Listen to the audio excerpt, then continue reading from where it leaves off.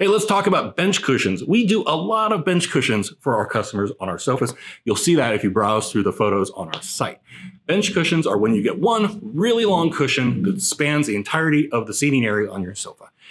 There are pluses and minuses to bench cushions, but I want to talk about one specific issue that pops up every once in a while. Every once in a while, we have somebody who's concerned because if they, they feel that if they sit on a bench cushion, it's going to shift on them. It's going to pop up on the edges. And they are right. I'll tell you why they're right.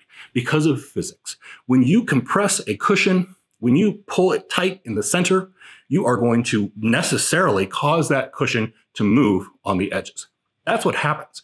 If you didn't want any movement, you would have basically one option.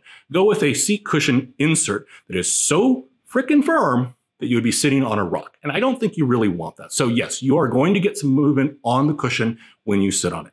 It is going to be more pronounced depending on the material you choose. If you have a sofa in, let's say a velvet, you're probably not going to see a whole lot of that movement because velvet is going to be pressed against velvet where the cushion meets the armrest. There's friction there because velvet is kind of Velcro-y. It's not going to shift a whole lot. And really most fabrics are kind of in that category.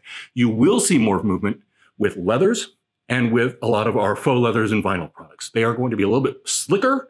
They're not going to have that same degree of friction. So yes, they will move. The good news about this is when you stand up, the cushion settles back down. Um, there's no way to adjust this or fix this. This isn't really a fixed thing. This is just the nature of cushions and the way the universe works.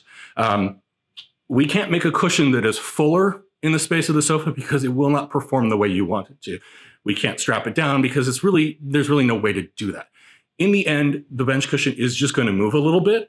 It's something you've got to be okay with. It really doesn't harm the piece in any way. It's really not that big of a deal at all, but it's something to expect when it shows up at your house.